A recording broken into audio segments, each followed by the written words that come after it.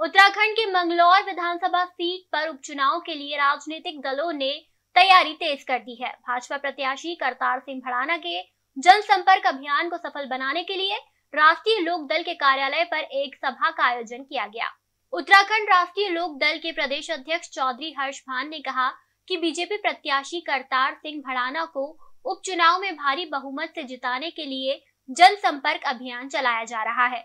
इस जनसंपर्क अभियान में देश के सभी राज्यों से राष्ट्रीय लोक दल के पदाधिकारी भाग ले रहे हैं। हमारे राष्ट्रीय अध्यक्ष श्रीमान जयंत चौधरी साहब, का पाँच तारीख में मंगलौर विधानसभा में कार्यक्रम है और वो सीट हम उपचुनाव है और गठबंधन में उस सीट पर लड़ रहे हैं। हमारी पूरी टीम है। हमारा जो चुनाव का कार्यभार है वहाँ, वो हमारे युवा के प्रदेश अध्यक्ष, वहाँ के जिला अध्यक्ष और हमारी पार्टी के जो मैन मैन पदाधिकारी हैं, उन सब लोगों ने कमान संभालना की और वो पूरी मेहनत और शिद्दत के साथ वहाँ चुनाव में काम कर रहे हैं, चुनाव लड़ा रहे हैं, लोगों के पास जा रहे हैं और वोट देने की अपील भी कर रहे हैं। हमें उम्मीद है कि पाँच तारीख को जयंत चौधरी साहब वहाँ पर आएँगे, उनका कार्यक्रम है और ये सीट हम बहुत भारी बहुमत से जीतेंगे।